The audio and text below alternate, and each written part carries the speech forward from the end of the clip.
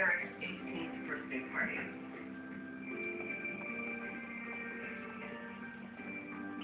Thank you for such a lovely afternoon.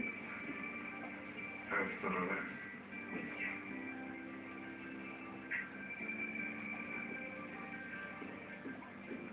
Please note which ones are the classics and which ones will be the. Thank you. Bryn Harold is friends with Lily Humphrey. She'll be at Eric's party tonight. I have all the information. Well done, Nan Minion. Make sure my resume's up to date. She doesn't take applications with. She just invites people who impress her and aren't done college. Well, as you can probably tell, I'm not a typical college student. I'm a self-actualized, mature beyond her years, yet still useful and duly working woman. Bryn Harold will be impressed. Mm-hmm.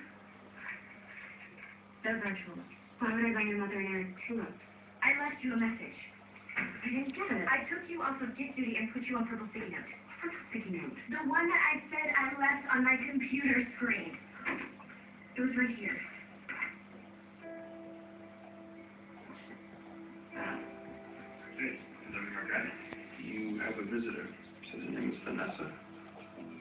Tell him I came to apologize and I'm happy to wait here until he gets back.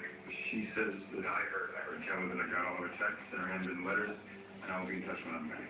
He says, do I really have to say that? Shouldn't we just talk to him yourself? No, no, no, no, no. I'm giving you the message myself. We'll defeat the entire purpose of the message, and I'm really busy right now. I'm on the first side delivering with a hundred tulips.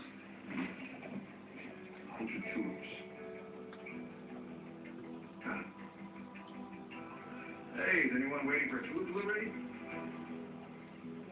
Why on earth did you get them? You want us to help Blair